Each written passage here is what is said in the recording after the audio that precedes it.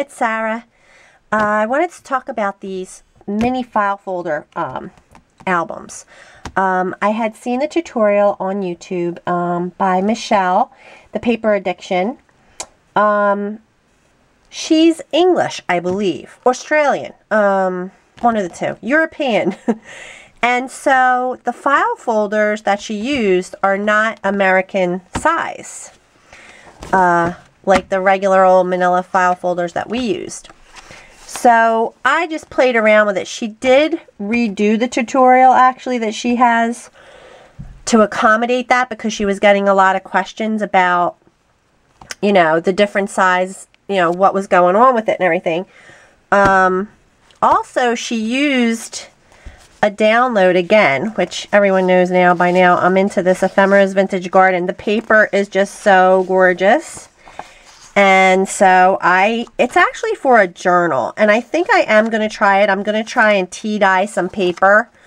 Um, there's a couple tutorials out there. I know um, Ms. Liberty 25 does one.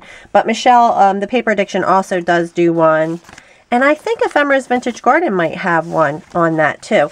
Because you actually kind of like use these as your they call them, it's like stations and then they're hand stitched and everything. I'm not sure if I, anyway, what I liked about it was she made her journal out of the file folders and used the same pattern, um, pattern paper. So that's what, what I liked about it. Um, mine didn't fit.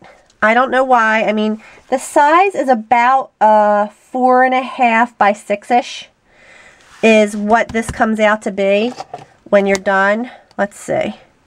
So like without the tab, like if you went like this, actually this one was the first one I made and I never finished it because I didn't ink up the inside of the pockets and I didn't, I don't know, there was just a couple things. This was kind of my prototype um, because like I said, her, see I didn't ink this pocket and it was kind of too late once you glued it down and everything. You couldn't really get the ink on there to look right and it would like mark it all up. So I scratched this one and decided to, because this paper actually was a little small. Well, that's not a good, um, I mean, like there's a little smidge of room over here. I guess I could have centered it a little bit. But I'll just find something else to use these papers for. Or like I said, I'll make one of the journals. But the one I actually came up with, the actual, the one I kept and finished and liked, I did with uh, the Bo Bunny Country Garden collection. I got this at um, Hobby Lobby. I live very close to Michael's and AC Moore, and so Hobby Lobby's a, it's only like a half an hour, but um, I don't go as often there.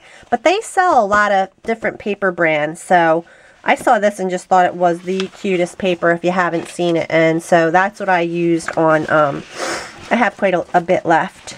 But that's what I used on, this is some of the pieces that I used on here, um, on the album. So as you can see, it's very, it's like about, like I said, it's 4 by 6-ish. There is no binding. You actually glue the sections together that you make. You end up using three pieces of a file folder. And I mean, three file folders probably total because you're going to have to cut them so that you can use the part with the tab. That's what I did anyway. I, like I said, I mean, Michele's tutorial kind of gives you the idea of what, what to do because what she does is she cuts this like this and then you fold it in half to create like a W. So you end up, you have three W's when you're done. So it goes like this. One, uh, when it's not glued together, it's a W. So this gets, this section gets glued together and creates a pocket. I, am not going to do another tutorial because she has a tutorial. Um, I mean, if you guys really need it, I can go ahead and like redo it in our measurements, you know, in US measurements. Um, because it's really cool. I mean, it lays pretty flat. I like that. I mean, I didn't embellish this at all, though. I mean, just the front. I really only just put, um, what is this, glossy accents on the butterflies from the paper pad, you know, and just put like flat butterflies, like fussy cut that out and put that on. But what you end up with is, a pocket here. And then the scrap pieces that you don't use, the other half of the envelope, I mean, of, um, of the file folder, I just used for my tags. And I should probably, I could make journaling lines on here, but I think I might cover it with paper. So that goes in this pocket. Then you have, this is actually a shipping tag that Michele actually suggests you just um, score it and adhere it before you put the pattern paper on top. So then you get this little cool extra flap for pictures and stuff. And then you get this one big tab at the um, for a regular size file folder too. So, I mean, you could do stamping um, or other techniques on the back of here or just for journaling. But, so it's pretty cool. You have a lot of um, opportunity for pictures. So you have that. Then you, then you have this whole big uh, area and this whole big area. So two big ones. Then you start again. Then you have that pocket again.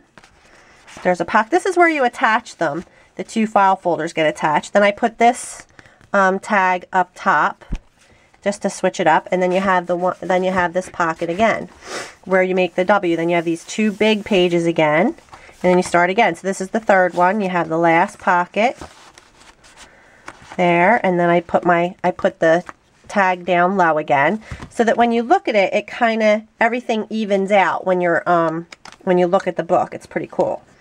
So that's the third page. And then you just have this big two pages left and then the back. So I really liked it. I think it's worth giving it a shot. Hers is one of the most, I think the best tutorial out there that I've seen for the shape. It, like I am attracted to like the shape of it and how it looks when you're done. Like that's kind of what attracts me to stuff like the evenness of it and everything. So maybe I will put together a tutorial of how I did do this with our American um, measurements and everything because I think it's pretty cool. It's almost like, it's only like, uh, it's a half inch thick. So, I don't know. I think it's really cool. But I inked everything up and it's just like I, I haven't put any fibers on it yet. So you can definitely do fibers.